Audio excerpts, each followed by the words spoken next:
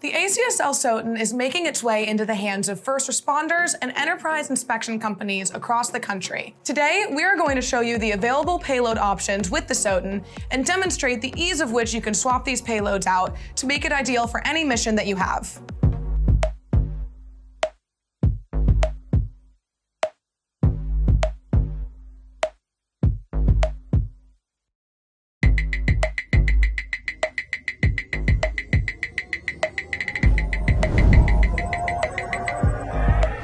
The ACSL SOTEN comes standard with the 20 megapixel RGB camera, but you have the option to purchase additional payloads, which include an EO-IR camera, a multispectral camera, and an optical zoom camera.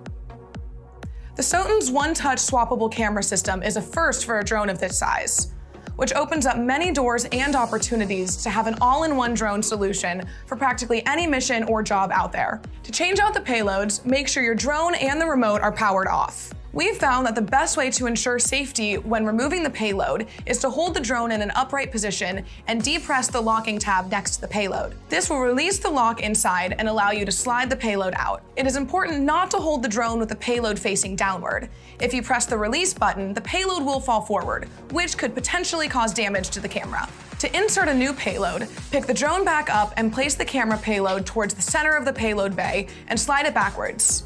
You will hear and see the locking tab engage, which means that the payload is secure and in place. It is a good idea to gently pull forward on the camera payload just to make sure that everything is locked into place and the connections are secure. You can now power back on your drone and the remote and continue on your mission. It is a very easy procedure that can be performed in a matter of seconds. Also, make sure to replace the lens cap back on the camera to prevent any scratches or damage.